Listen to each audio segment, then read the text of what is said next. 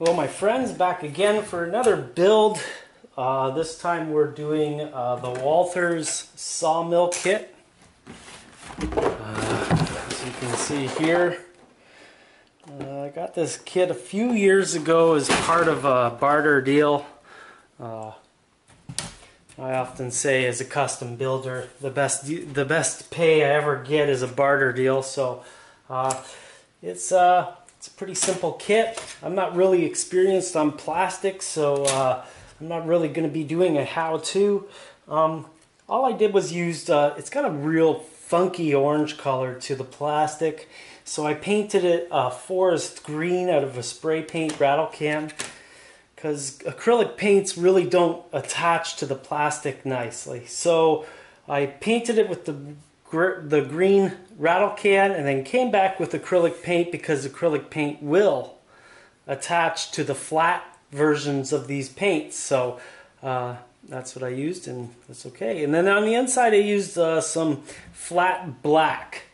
Uh, so uh, the base I used the camo colored spray paint, the tan color. I'm going to go over it with my handy dandy shop concrete um, so that's that. And uh, our uh, sawdust burner uh, put together, glued together, painted flat black with the cap off, painted the, the cap flat back on its own. And then uh, from the top, I used uh, some uh, rustic, rust, or the orangey, orangey colored spray paint and did a little bit of a, a fade around the outside. Um, so it's kind of an it's it's basically copying the photos that I've seen online. I'm gonna dry brush some gray on top. Uh, I was severely sick yesterday, so we didn't get any of this on camera doing this stuff. So uh, we'll be starting this here. Uh, however, I'm gonna uh, turn on the podcast. We're gonna speed this up a bit and we're just to build this, okay?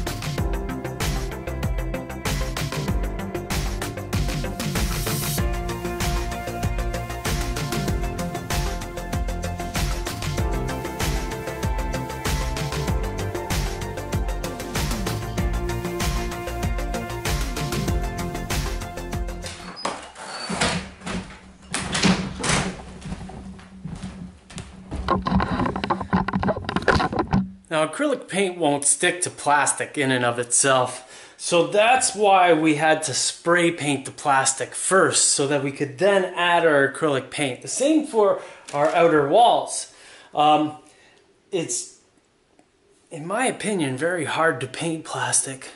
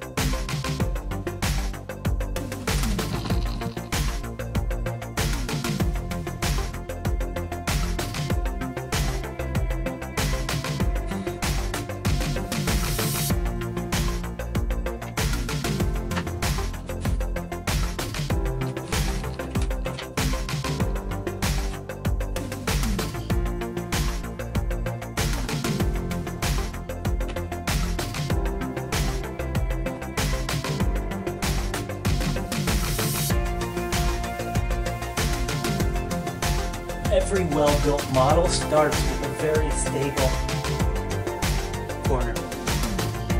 Let this dry completely.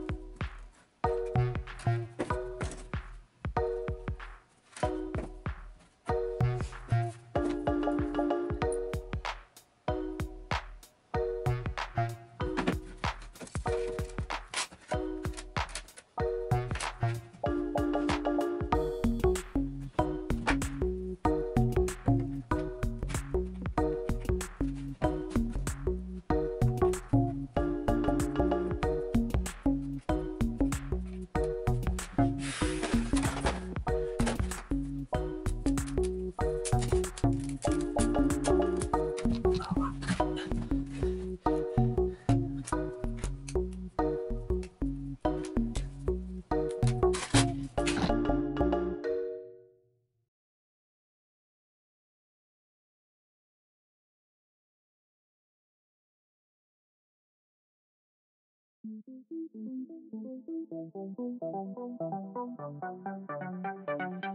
you.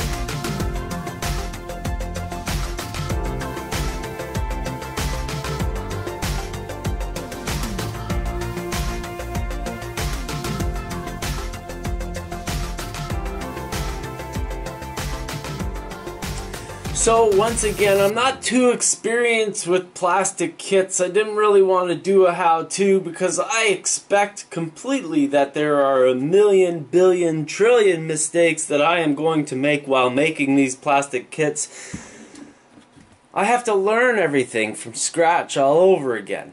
You know, and, and while these uh, plastic kits can be knocked out in a day, which makes me kind of realize why it's so hard to sell one of these Craftsman kits. Like, man, a kit takes more than a wood kit takes more than a day. Let's just say that wood takes a little bit of time to dry. I guess I don't know what the deal is, but these plastic kits they'll turn out nice.